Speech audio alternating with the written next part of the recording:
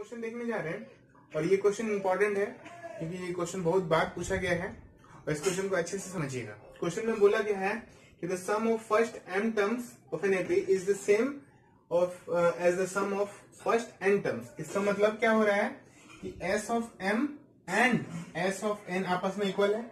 तो इन दोनों को आपस में इक्वल करके हम लोग क्या टर्म निकालेंगे और यहाँ से क्या निकालना है? देखिए show that the sum of first m plus n sum of first m plus n x term का वैल्यू है, वो क्या आ रहा है? ज़ीरो आ रहा है।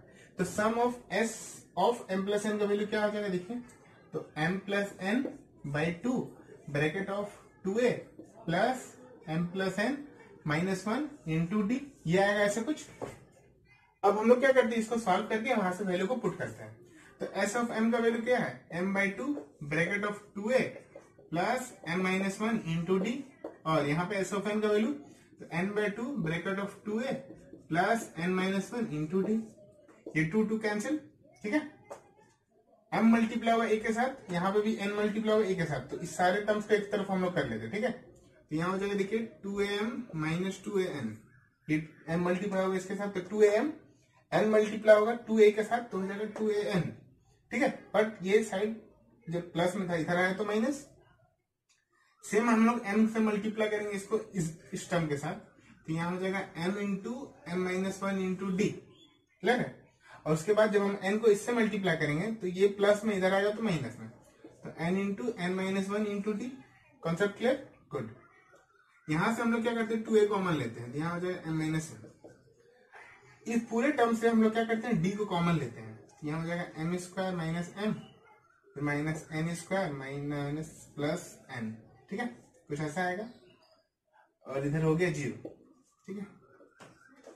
तो two a bracket of m minus n plus d यहाँ पे देखिए एम स्क्वायर और एन स्क्वायर का एक फॉर्मूला बनेगा।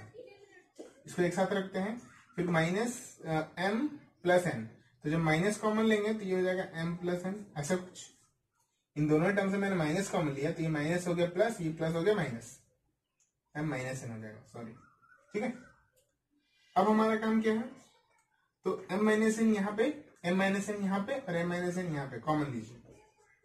एम माइनस एन कॉमन लिया तो यहाँ पे क्या आ गया?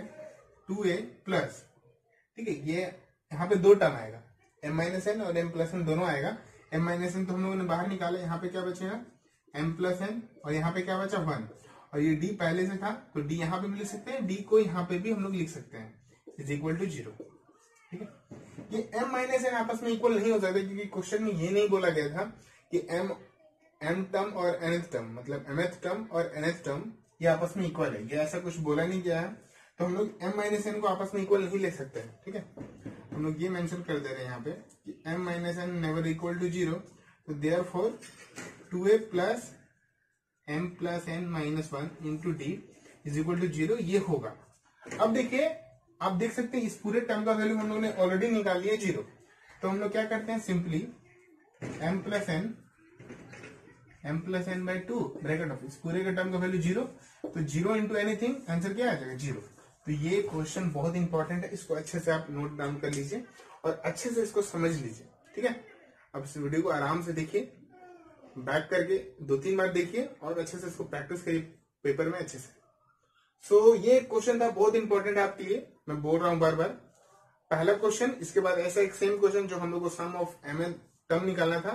वो एक क्वेश्चन उसके बाद ये एक क्वेश्चन तो जितने भी क्वेश्चन मैं यहाँ पे करा रहा हूँ इस वीडियो में ये सारे इंपॉर्टेंट क्वेश्चन है आपके लिए अर्थमेटिक प्रोग्रेशन से।